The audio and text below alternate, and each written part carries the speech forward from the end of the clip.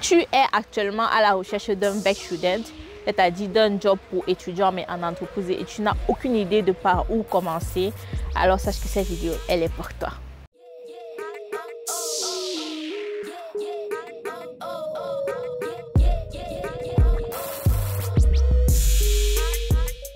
Hello, je suis Céline Diallo et bienvenue dans Connaître l'Allemagne. Ici, on parle de tout ce qui tourne autour de l'Allemagne, de près comme de loin.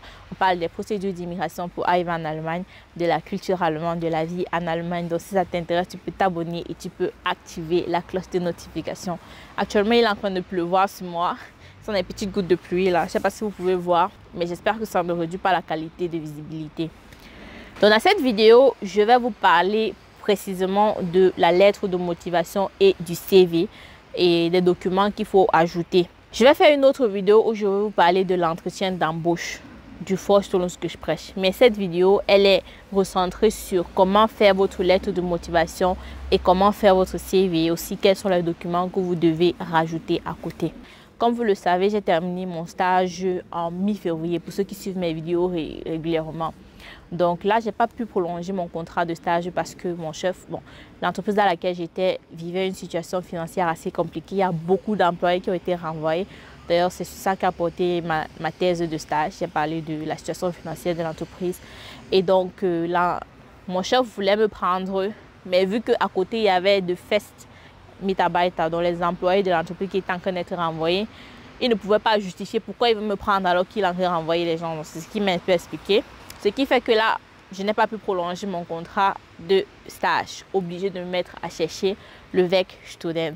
Puisque j'avais plus envie de faire le laga. Et puis aussi, je voulais, comment dire, avoir une certaine expérience professionnelle.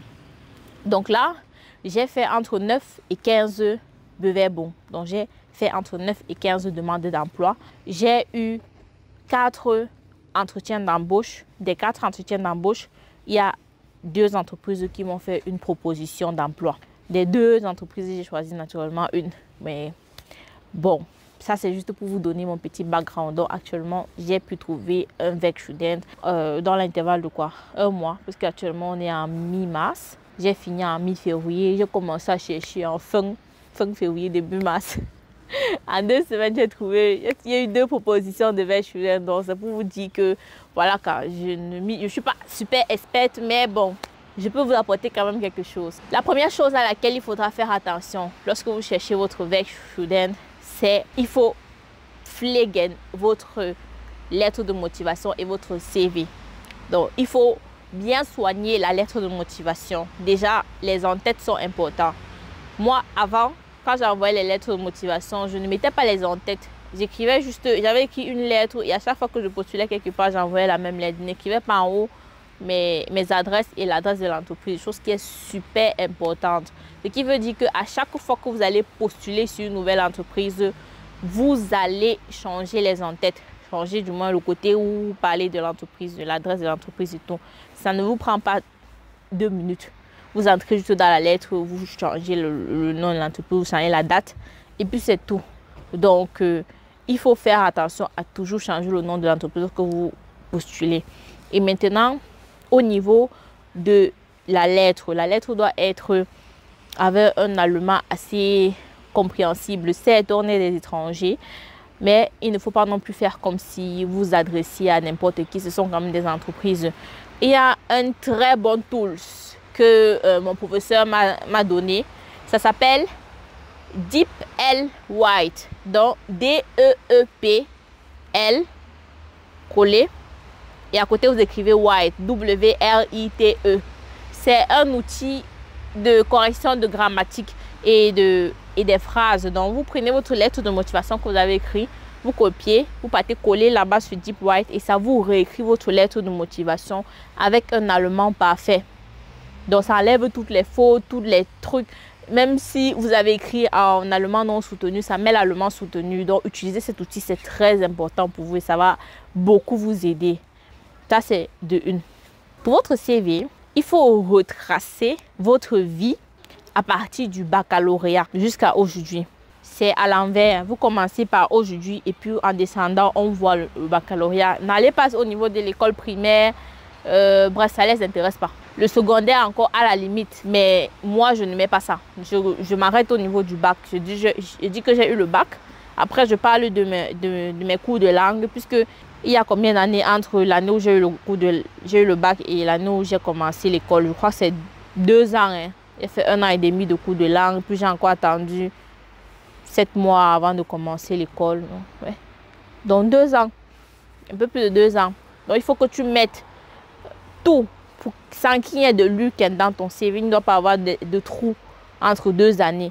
Donc, si tu as fini le bac, tu as commencé les cours de langue, tu mets entre tel et tel, j'ai fait les cours de langue. Après, j'ai commencé l'université à tel endroit. Maintenant, selon la place où tu vas postuler, il y a les choses que tu vas devoir mettre, les choses que tu ne vas pas mettre. Moi, j'ai travaillé à la poste, par exemple, pendant deux ans, où j'étais brise rien. Ça n'intéresse pas ceux qui vont me, ceux qui vont vouloir m'employer parce que ça n'a rien à voir avec le poste que moi j'ai envie de faire. Par contre, j'ai travaillé à A en tant qu'inventoire Hilfe. Donc, j'ai fait les inventaires à. Vu que moi, je suis dans le domaine de la comptabilité, dit que j'ai fait les inventaires, ça aide déjà. Ça va un peu dans ce domaine-là. Ce qui fait que moi, dans mon CV, avant, je mettais que j'ai fait l'inventaire, puisque je n'avais pas spécialement d'expérience professionnelle. Maintenant que j'ai fait le stage et le VEC student quelque part, j'ai enlevé la partie où je mettais l'inventaire là et j'ai mis stage avec student comme expérience professionnelle. Donc au tout début, quand vous venez d'arriver en Allemagne, cherchez la moindre, réfléchissez bien dans votre tête, la moindre petite chose que vous avez fait qui correspond à la, au poste auquel vous voulez, euh, à votre poste de, poste, bon, j'arrive pas à trouver les mots, mais vous comprenez ce que je veux dire. Essayez de trouver, donc, de mettre exactement ce qui est important pour ce poste-là. Et le reste, vous laissez. Donc, à côté, il y a aussi le social engagement que nous, les Noirs, on néglige énormément. Pourtant, c'est très important pour les Allemands. Eux, ils regardent ça. Si tu as participé à un séminaire d'une association quelconque, tu mets ça à l'intérieur. Moi, par exemple, l'année dernière, j'ai travaillé en collaboration avec la Caserne, qui est une association de Camerounais ici.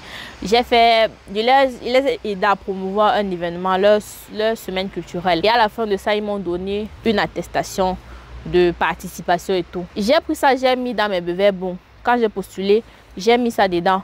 J'ai participé à un cours à l'école, ça s'appelle Project Management. Là-bas, on devait créer une entreprise virtuelle avec notre chiffre d'affaires. On devait faire un HomeZat, on réalisait des ventes et tout. On devait gérer une entreprise pendant 7 ans actuellement. Et à la fin, on a eu une, attestation disant qu'on a pu gérer un projet et le mener à bien. Et moi, je mets ça dans mes bébés. Chaque fois que je postule, je mets ça. J'ai été tuteur à l'université. Pour ceux qui ne savent pas, j'en parle dans la vidéo sur les avantages d'étudier en Allemagne.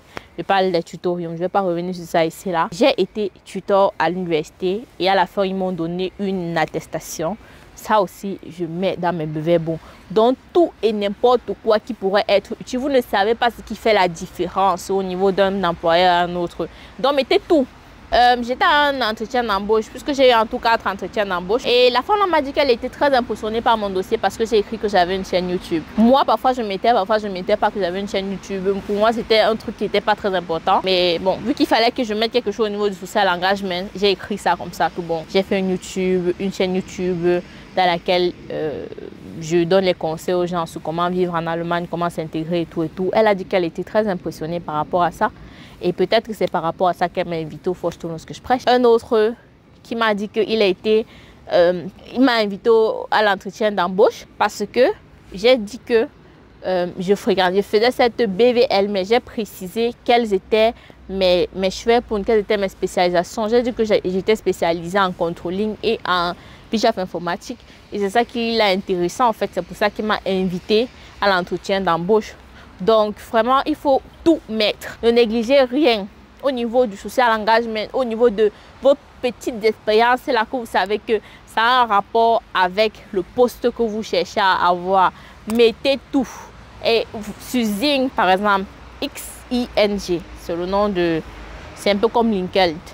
Là-bas, il y a les Vorlagen des, CV. Donc, il y a les CV qui, qui sont déjà présenter. On vous montre comment le CV est présenté. Vous faites votre CV sur Word. Après, vous partez là-bas sur Sync. Vous téléchargez votre CV, ça télécharge directement. Ou vous pouvez faire directement votre CV sur Sync. N'allez plus payer les gens pour qui vous font les CV. Vous pouvez le faire vous-même. Donc, euh, si vous avez la possibilité de le faire vous-même, je ne vois pas pourquoi est-ce que vous devez payer quelqu'un d'autre pour le faire. Donc, euh, c'est un peu ça. Donc, premièrement, il faut être capable de présenter et d'expliquer son expérience professionnelle, aussi petite soit-elle. Tout ce que tu as mis sur ton Lebenslauf, sur ton CV, tu dois être capable de l'expliquer de façon cohérente. Parce que à chaque entretien d'embauche auquel tu iras, on va te demander quelle est ton expérience. Ou du moins, on va te demander de t'expliquer ce que tu as dit sur ton CV. J'ai fait un stage et un student en comptabilité. Et à chaque fois que j'ai eu à aller à un entretien d'embauche, on m'a demandé de me présenter. Et quand on te demande ça, d'une façon ou d'une autre, tu sais que tu vas parler de ton expérience professionnelle. Il ne faut pas juste dire, par exemple, si tu as travaillé dans les ressources humaines, il ne faut pas dire que bon, j'étais dans les ressources humaines et je m'occupais des Kundenbeschwerde, donc je m'occupais des réclamations de clients et tu t'arrêtes là. Non, c'est trop vague. Il faut entrer dans le sujet de sorte à ce que la personne qui est en face de toi puisse avoir une idée de exactement ce que tu faisais. Il faut dire en quoi consistait ton boulot plus précisément. Donc tu peux dire que moi j'étais dans, le, dans les ressources humaines et je répondais aux réclamations des clients.